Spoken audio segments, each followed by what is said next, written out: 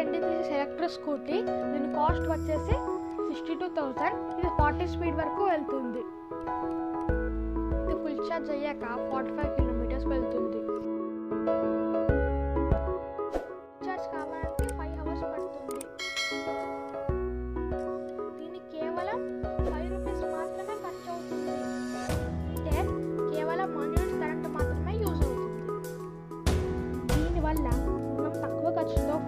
Kilometres వెళ్ళొచ్చు.